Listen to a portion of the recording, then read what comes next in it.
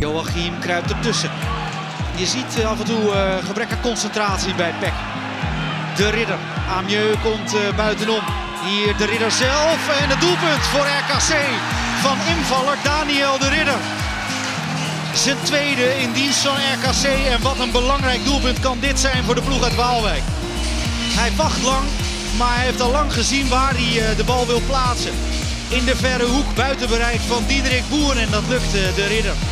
Het staat 1-0. Verder goede beslissingen neemt. Lijkt dit een beetje op, uh, jij maar even buiten staan. En zo zitten de spelregels niet in elkaar. Lachman. Naya. Bukari. Hard en laag. Chevalier komt toch als een goal. Hij maakt hem, dat wel. Het is zijn vijfde van het seizoen. Het staat 1-2 en het worden nog drie spannende minuten. En er gaat ook nog geel komen voor Van den Berg. Dit is Boerrichter. En daar is het Tony de Groot.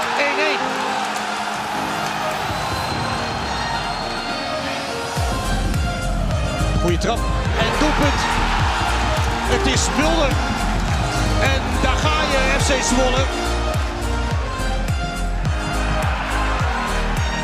Daar is Boerrichter weer. De schrik van de hele defensie van Zwolle. Oh, wat een mooie bal. Ja, Tony de Groot. Maradoni met zijn tweede. Boutahar ziet Boularus. Goed gegeven. Boularus. Boularus. De kans. Boularus. Goed afgemaakt. Hij speelt dus voor Rick Hogendorp.